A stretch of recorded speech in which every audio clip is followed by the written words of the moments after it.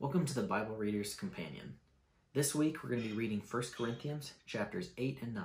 If you would, please follow along with me. Now concerning things sacrificed to idols, we know that we all have knowledge. Knowledge makes arrogant, but love edifies. If anyone supposes that he knows anything, he is not yet known as he ought to know.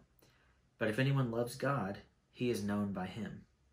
Therefore, concerning the eating of things sacrificed to idols, we know that there is no such thing as an idol in the world, and that there is no God but one.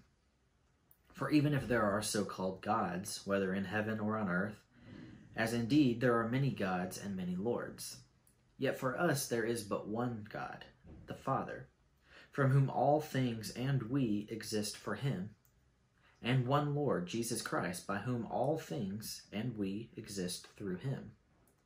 However, not all men have this knowledge, but some, being accustomed to the idol until now, eat food as if it were sacrificed to an idol, and their conscience being weak is defiled. But food will not commend us to God. We are neither the worse if we do not eat, nor the better if we do eat.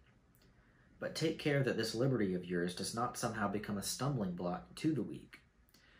For if someone sees you, who have knowledge, dining in an idol's temple, will not his conscience, if he is weak, be strengthened to eat things sacrificed to idols? For through your knowledge, he who is weak is ruined, the brother for whose sake Christ died. And so, by sinning against the brethren and wounding their conscience, when it is weak, you sin against Christ. Therefore, if food causes my brother to stumble, I will never eat meat again, so that I will not cause my brother to stumble. Chapter 9 Am I not free? Am I not an apostle? Have I not seen Jesus our Lord? Are you not my work in the Lord? If to others I am not an apostle, at least I am to you, for you are the seal of my apostleship in the Lord. My defense to those who examine me is this Do we not have a right to eat and drink? Do we not have a right to take along a believing wife, even as the rest of the apostles and the brothers of the Lord and Cephas? Or do only Barnabas and I not have a right to refrain from working? Who at any time serves as a soldier at his own expense? Who plants a vineyard and does not eat the fruit of it? Or who tends a flock and does not use the milk of the flock? I'm not speaking of these things according to human judgment, am I? Or does not the law also say these things? For it is written in the law of Moses, You shall not muzzle the ox while he is threshing. God is not concerned about oxen, is he? Or is he speaking altogether for our sake? Yes, for our sake it is written, because the plowman ought to plow in hope, and the thresher to thresh in hope of sharing the crops. If we sowed spiritual things in you, is it too much if we reap material things from you? If others share the right over you, do we not more? Nevertheless, we did not use this right, but we endure all things so that we will cause no hindrance to the gospel of Christ.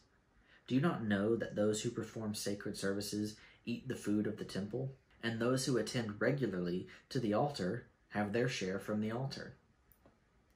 So also the Lord directed those who proclaim the gospel to get their living from the gospel. But I have used none of these things.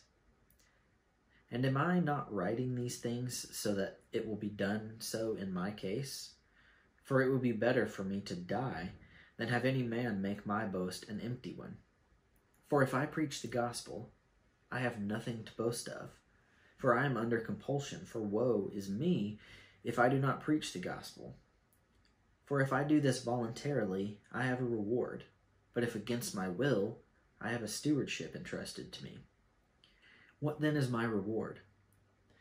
That when I preach the gospel, I may offer the gospel without charge, so as not to make full use of my right in the gospel. For though I am free from all men, I have made myself a slave to all, so that I may win more. To the Jews I became as a Jew, so that I might win Jews to those who are under the law, as under the law, though not being myself under the law, so that I might win those who are under the law. To those who are without law, as without law, though not being without the law of God, but under the law of Christ, so that I might win those who are without law. To the weak I became weak, that I might win the weak. I have become all things to all men, so that I may by all means save some. I do all things for the sake of the gospel, so that I may become a fellow partaker of it. Do you not know that those who run in a race all run, but only one receives the prize? Run in such a way that you may win. Everyone who competes in the games exercises self control in all things. They then do it to receive a perishable wreath, but we an imperishable.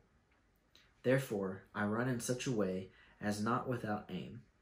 I box in such a way as not beating the air, but I discipline my body and make it my slave, so that, after I have preached to others, I myself will not be disqualified. That was chapter 8 and 9 of 1 Corinthians. Be sure to check back for Ben's comments throughout the week. Thanks for following along.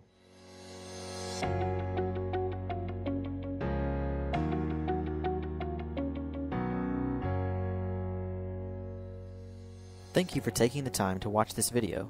Subscribe to our YouTube channel and follow us on Facebook for more content like this.